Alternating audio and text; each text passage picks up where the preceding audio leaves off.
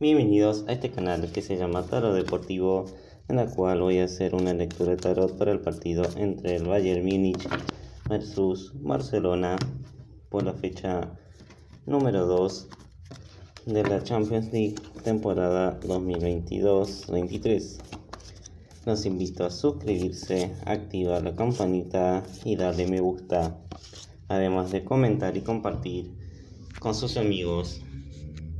Bien, para el Bayern empezará el encuentro queriendo tener que levantar los ánimos para este partido, tratando de tener un buen primer tiempo, en el cual van a tener que estudiar mucho al rival para poder generar juego los espacios que deja el rival, en la cual en el segundo tiempo van a querer eh, atacar con todo para poder finalizar el encuentro con teniendo mucho más fluidez de juego y autoridad de partido. Mientras que para el Barcelona empezará el encuentro tratando de encontrar una buena autoridad de juego para poder gestar algo distinto, algo nuevo, para tener un poco más de autoridad de partido, en la cual el segundo tiempo van a querer ir en busca del ataque de la victoria, en la cual sobre el final del partido van a tener eh, que ir por el sendero del triunfo, más que nada eh, por ese camino para las próximas fechas del grupo, ya que en esta lectura tarot me estaré indicando que terminarán empatados. Y ahora voy a ver con el otro mazo de tarot para tratar de confirmar esta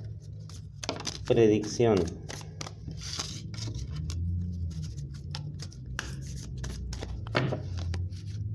Sabiendo que este partido se jugará este próximo martes 13 de septiembre del 2022, perteneciente al grupo C. Bien, para el Bayern Múnich empezará el encuentro tratando de despistar al rival con ciertas jugadas de, para que lo desorienten, en la cual quieren tener una buena distribución de juego e ir a atacar constantemente para que en el segundo tiempo tengan un poco más de compromiso entre sus jugadores y quieren mantener el, su arco en cero en casi todo el desarrollo del juego.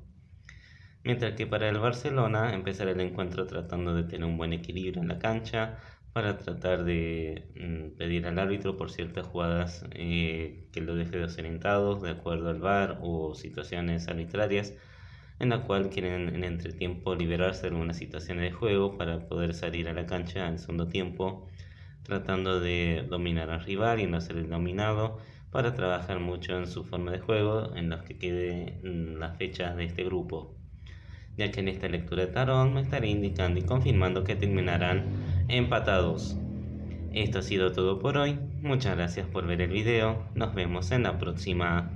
Adiós.